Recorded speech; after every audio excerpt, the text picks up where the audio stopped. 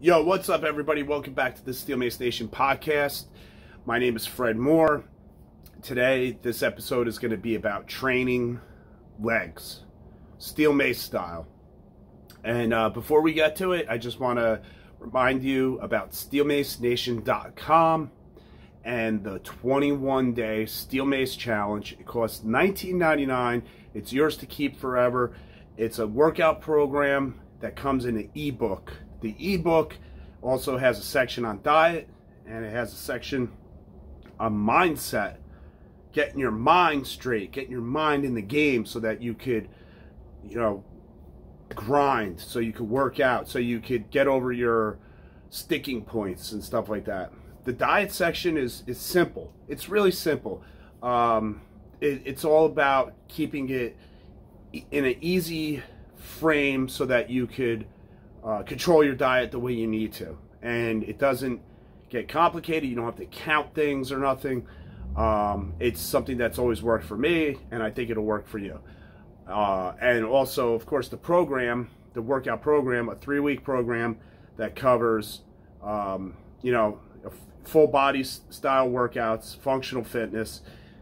You can use the steel mace, you can use uh, steel clubs, you could use dumbbells. You can use kettlebells, bands, or you can use body weight. It's your choice. What's so cool about that is that you could run through the program multiple times using different equipment.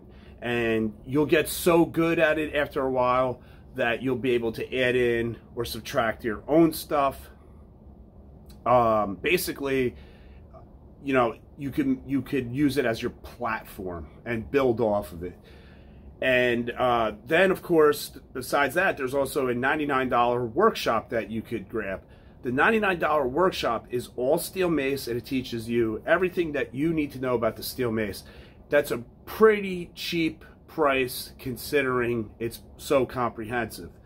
Um, you could check out tons of workout videos that I have on YouTube, or you could you could just see them on steelmacenation.com too. There's a lot of free content there.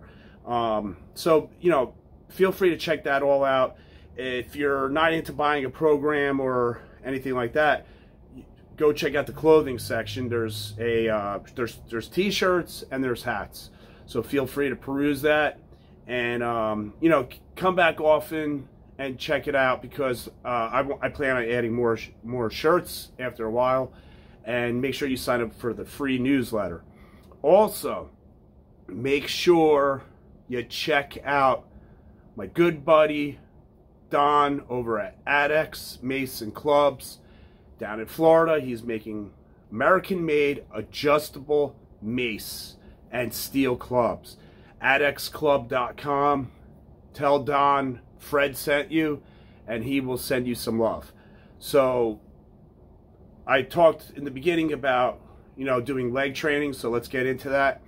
Um, obviously, if you're somebody who has been using the steel mace for a while now, you may have tried different leg workouts using different weight maces. You know, you've tried the 10 pound, you've tried the 15 pound, you've tried the 20 pound.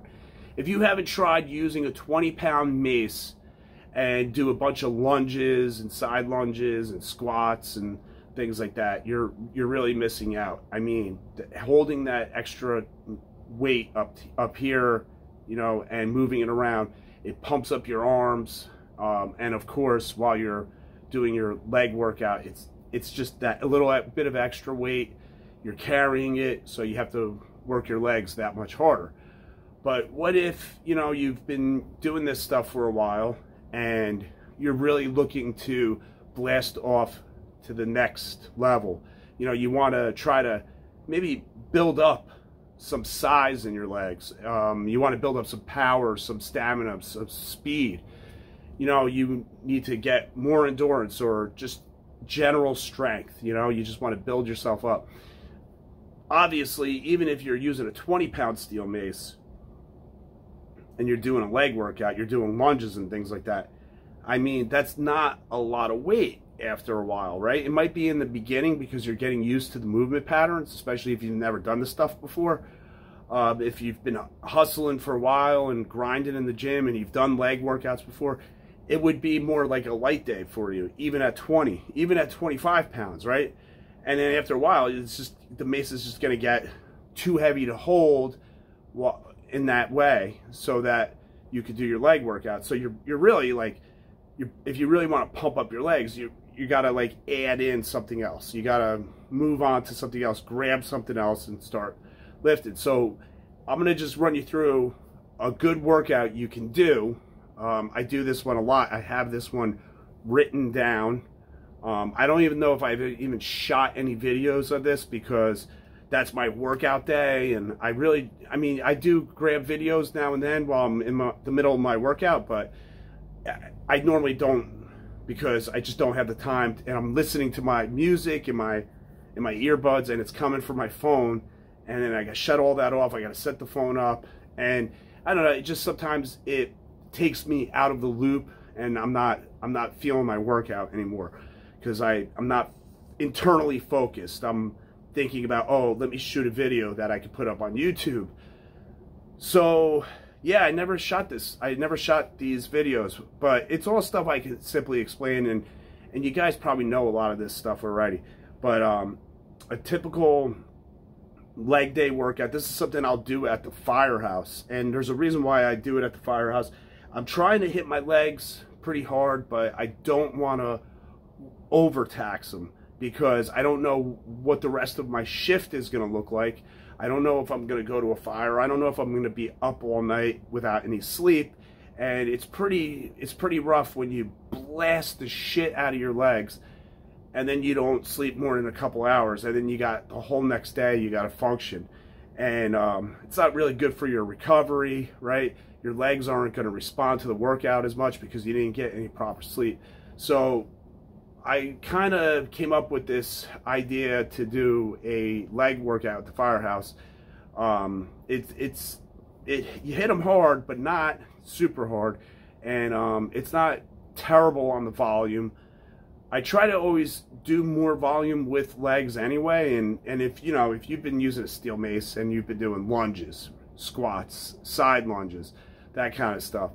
Um, you're you're doing lots of reps, a lot of reps, right, over and over again, and that's how you blow your legs up. It's all through sheer volume. Well, um, volume is important, weight is important, but I just try to moderate it when I'm at the firehouse. So here is what I usually do. Um, I start off, obviously, with a little bit of a light warm-up. It could be jumping jacks, skipping rope, um, even just walking on the treadmill, use, using some type of cardio machine or whatever. Um, go Walking up and down stairs a few flights is a great way to warm up. And um, that's just, you know, just to get you warm and ready for your workout then I may use, depending on how I'm moving, I may use a, a, set of bands. I'll put the bands around my legs and I'll do clamshells and I'll do hip bridges or hip thrusts, whatever you want to call them, just to warm up my glutes and my hips. And that helps me squat better, that helps me lunge better because it turns on or it switches on those muscles. Um, and, and it helps them become part of the process rather than everything becoming quad dominant. So after I use that, then I'll grab a 10 pound mace and I'll I will just do swings. I'll just swing mace. I'll start with two arms, then I'll go to one arm swings, and then I like to either move up to a 15. I actually have a 12 pound mace, um, and just continue one arm swings. And somewhere in there, I'll just do a couple body weight lunges, squats, and side lunges. Then I'll grab my 10 pound mace and then I'll do a series of lunging, uh, you know, front lunges and side lunges. So the side lunges I like to do, I stick to one leg at a time. I'll I'll side lunge to the left and then I'll push off. Dinner's up. Dinner's up. Dinner's up. I got to go soon. So let me make this quick.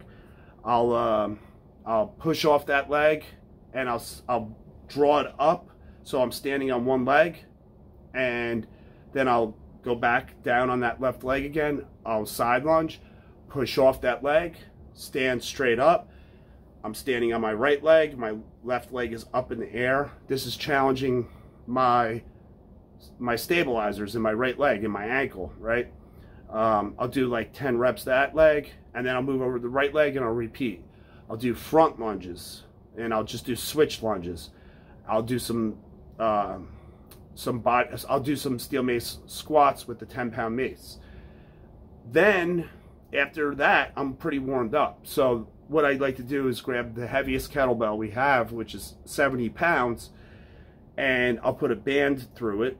So the band gets fished through the handle, and then the loops of the band go around my feet, and I take a really wide sumo stance, and I stand over the kettlebell, and then I rip it off the floor with the band, so that as I'm standing up and getting taller, the band is stretching, and it's making it harder and I'll do, you know, I'll start off with like 15 to 20 reps and I'll do a, a deadlift. After that, we have a weight vest. The weight vest is a 50 pound weight vest. I put the 50 pound weight vest on and I go back and I do more of those deadlifts with the bands. After I start, after I hit about three, four, five sets of those, um, everything is over 10 or 12 reps. After that, I actually take the band out. Then I get a narrow stance and I do more deadlifts and I might do another two sets. At that point, um, you know, my glutes, my hamstrings, everything is is fired up. I'll ditch the I'll ditch the weight vest and then I'll go do a leg press. With the leg press, I go about 70% of what I would normally do if I was at the gym. So it's pretty light. Um, you know, leg presses, you can load up a lot of weight on a leg press. It looks like you're doing a lot. For some reason, it's just it's just the um, the physics of it. It's not it's not all that weight. So I put six 45 pound plates on, um, and believe me, I can't I can't squat that on a barbell. I cannot, but I could definitely do that with legs. Um, and what I'd like to do is a narrow stance so I could so I could try to get the the quads and of course, uh, with the leg press, if you're narrow stance, you can't come down as far because um, you're, you know it affects your range of motion. But I like that in the beginning because that um, that makes me feel safer. Lets lets me get tighter. Lets me get into the into the um, exercise more. And then after about three or four sets of that, then I'll open my stance up. I'll go wide and high on the platform, and then I'll lower that weight and I come back a little bit lower than I normally do uh, just to get more range of motion and I just rip it I just pump it out and I'll do like another two sets after that I'll do kettlebell swings with the 70 pound kettlebell and I'll just do four or five sets of 20 um, and I do that mostly more for the for the cardio aspect or, or the HIIT, if you want to call it that aspect of it. But it really, you know, kettlebell swings are one of the best exercises out there. They really hit your glutes and everything. It hits your whole posterior chain. It gets your upper body involved, works up a sweat. After that, I'll go back to a 20 pound mace and I'll just do some more lunges with it. And I just kind of play around with that. When I don't have anything really set, it's just more like play style, but um, I'm kind of doing it and I'm like really squeezing my biceps and I'm switch I'm switching the mace from my left to my right and my and that 20 pounds you know it starts to really hit your biceps and get a little vein popping out it makes you feel good gets your arms involved after that I'll grab the 10 pound mace and I'll do um, some abdominal exercises with it so you know you could do a sit down kayak style paddle paddling and I do believe if you go to steelmacenation.com, there is a video of me doing a kayak. It's basically you, you're doing, um, you're sitting on your butt, you raise your feet up, your knees are slightly bent, you're kind of leaning back on a 45 degree angle, and you grab the mace like it's a paddle, and you paddle with it. You know, and you do like five reps on the left and five reps, rep, five reps on the right. After that, um, I might do uh, some other ab stuff, just, you know, crunches or whatever uh, with some other equipment. Then I finish off my legs on leg extension and leg curls. So I'll do like light, light, light, but I'll do very slow reps and I'll go full range of motion and I squeeze, when I do a leg extension, I bring it all the way up and I squeeze and hold, squeeze and hold, and just squeeze and squeeze in slow motion. It takes forever to do like 15 or 20 reps. It takes a long time. It feels like you're there forever. After leg extensions, I'll do the leg curls, same way. When I curl it, um, I hold that position for as long as I can. Um, even with lightweight, after doing all that other stuff, it's really hard to hold it for too long. Um, I control it on the negative on the way down, and um, that really just pumps up my legs. And then I'll finish it off with some calf exercises, you know, standing on my toes and walking, or uh, going back to the leg press and putting my feet on the bottom bracket, the bar that goes across, and I'll just pump and pump and pump. And um, there was a call coming in. I had to get rid of it. Oh, came in again. Let's get rid of it. Uh, so yeah, I um, that's it. That's pretty much it. That kind of workout, especially adding that that um, vest in the weight vest, really blows me up. Makes me feel good. I feel like my legs got a really good workout, but I'm not like shot. I'm not beat dead, and you know it doesn't have to be a balls to the wall workout every time anyway. But um, I wanted to really hit this one just in case uh, some of you steel mace work, workout people out there, you're not really um, happy with the with your leg development. It's uh, it's a real thing because you know how your legs are so strong. Um, I don't think there's a steel mace heavy enough to really challenge your legs 100%, uh, unless you're just doing tons of volume. And sometimes we just don't have that kind of time. You know, we need to destroy everything in 20 minutes and then go about our business. So that's it, guys. I hope that this information is useful to you. Feel free to comment below and ask any questions. And if anybody actually wants to see a demonstration or anything like that, you know, I could I could definitely uh, shoot those videos up. Actually, now that I think about it, I probably should, and um, I'll I'll do that pretty soon. So in the meantime, Thanks for checking out the podcast. Thanks for liking and sharing and being awesome. And look, everybody, summer's coming. Uh, let's get in the best shape of our lives. You know, um, I'm 48 years old and I'm working on my abs right now, and I can't wait. You know, it's a it's a real boost for me, um, and I know it'll be a boost for you.